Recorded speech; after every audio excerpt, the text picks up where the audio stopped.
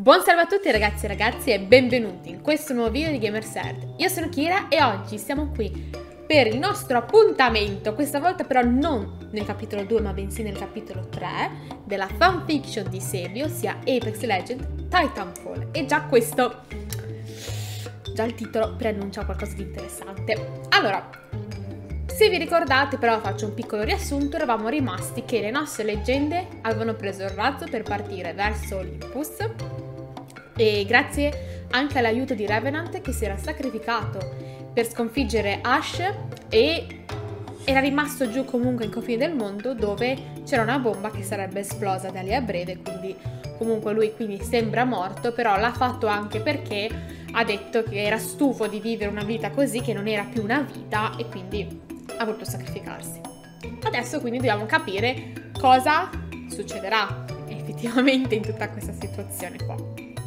Allora, le nostre leggende sono precipitate ad Olympus, un giovane pilota della milizia li recupera per collaborare e scoprire cosa trama la ANC e la Hammond e a cercare di mettere fine a questa storia.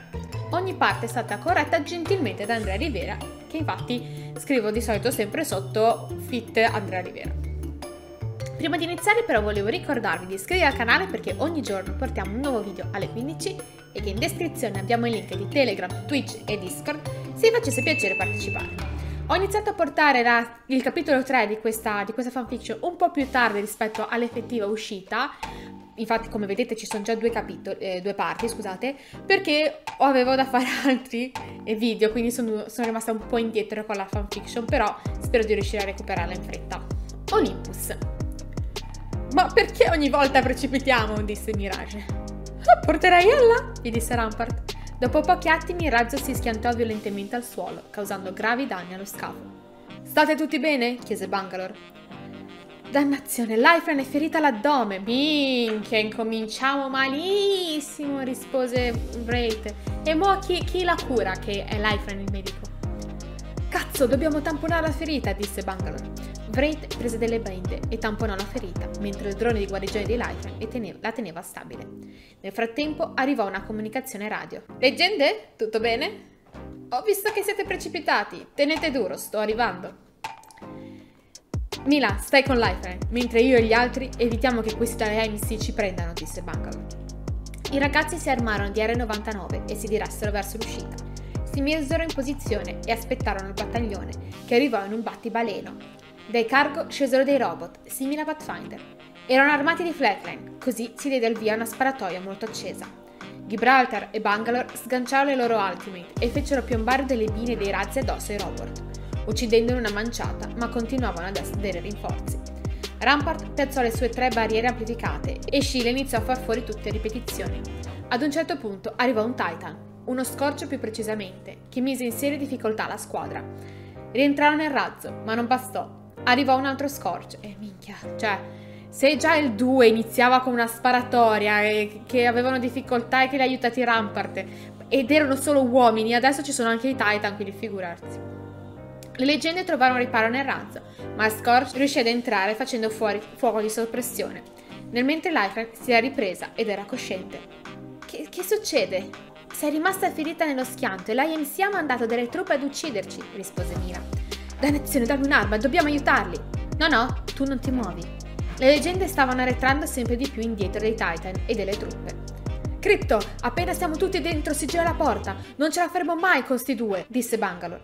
Tutti entrarono nella prima sezione del razzo. Crypto usò il suo drone per mettere fuori uso per un breve periodo gli Scorch. E poi chiuse la porta, ma non avrebbe retto a lungo. Infatti gli Scorch stavano per sfondarla, ma ad un tratto arrivò un Titan di classe Vanguard, che iniziò ad attaccare la MC e dopo una bella sparatoria riuscì a distruggere anche i due Scorch. Crypto sigillò subito il razzo per evitare che altre truppe entrassero.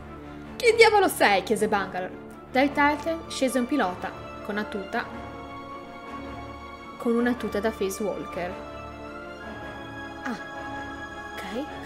La tuta era nera con dei tratti bianchi e grigi, aveva gli anfibi neri che arrivavano fino agli stinchi con la punta vellutata di viola e i pantaloni neri con un pattern militare grigio e bianco. Sulle gambe aveva una fondina con dentro una mozambiche, poi un tactical color grigio con dei portacaricatori neri e una radio nella parte superiore sinistra. Sul fianco una tasca porta utility color bianco. e un coltello nella parte superiore destra dei guanti bianchi. Nel braccio destro sulla spalla aveva il logo del corpo Marver. Mardware, scusate non so leggere, un mantello rosso strappato con dei buchi e un casco come quello della skin di Freight Facewalker, con la visiera completamente nera. Te lo dico dopo. BT, dimmi se stanno bene. BT? BD7274? chiese Bangal. Sì, quel BT. BT andò a controllare l'altra, vedendo che era ferita.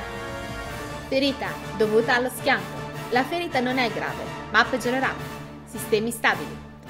Il pilota si avvicina a Lifeline, sollevandosi la visiera del casco. Ehi, Ajay! È un aspetto di merda, tesoro. Ok, allora. Ok, allora. È iniziato tutto alla stragrande, cioè proprio ti ha cat- catapultato lì proprio come se fossimo nel razzo direttamente. Mentre nel secondo comunque era un po' più soft la cosa all'inizio, nel secondo, nella seconda parte c'è stata questa introduzione anche con queste sparatorie, qua no, qua subito. In effetti loro stavano scappando, quindi giustamente appena, appena arrivati in un pianeta anche non proprio nemico, però straniero, hanno iniziato subito ad attaccarli. E, e quindi hanno dovuto combattere l'ultimo, l'ultimo, sangue con ognuno dei propri ultimate, questa volta molto più difficile come dicevo prima rispetto al capitolo 2 perché questa volta c'erano anche dei titan che sembrerebbe essere il fulcro di, questa, di questo nuovo capitolo. E quindi loro senza ovviamente hanno molta più difficoltà. E poi è arrivato questo, questo, questo pilota che ho sbagliato un po' la sua voce cercherò di migliorarla per come voglio farla. Questo pilota che li salva, anche lui con, una, con, con un Titan, che indossa una tuta molto simile alla Facewalker di Wraith. Per questo che quando ho letto Facewalker ho avuto un attimo del tipo, boh, poi non è propriamente così, i colori sono leggermente differenti, però ci sono rimasta un po' basita anche perché ho detto, ok, mo cosa... cioè, c'è un collegamento, non c'è, non lo so, si vedrà. Poi, BT7274. Uh, allora, direi che sono ignorante, ma penso di sapere invece cosa sia, perché penso di averlo disegnato. Se non ricordo male, penso di aver fatto uno speed drawing su BT7274. Eh, confermatemelo sotto gentilmente nei commenti se ho detto una, una minchiata. Scrivetelo proprio, hai detto una minchiata. vabbè, magari non queste, queste parole perché mi farebbe un po' soffrire, perché poi mi dimentico di che cosa parlavo e dico vabbè.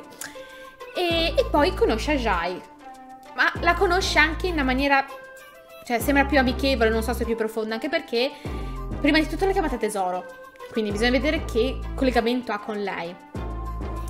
E poi anche questo, um, cioè questo questa piccola frase però molto più colloquiale, dicendo appunto hai aspetta di merda tesoro, può essere un amico, può essere un familiare, può essere qualcosa di più, non si saprà, vedremo poi, anche se io speravo che Jay si mettesse con Octane, però si vedrà. E...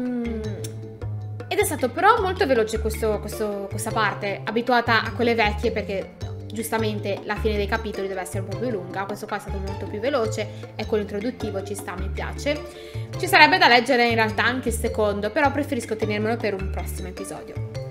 Quindi spero vi sia piaciuto, se fosse così iscrivetemelo, lasciate un like, commentate qua sotto con cosa ne pensate voi su questo nuovo inizio e se attendevate con impazienza come me il capitolo 3 e noi ci vediamo ad un prossimo video. Ciao ragazzi!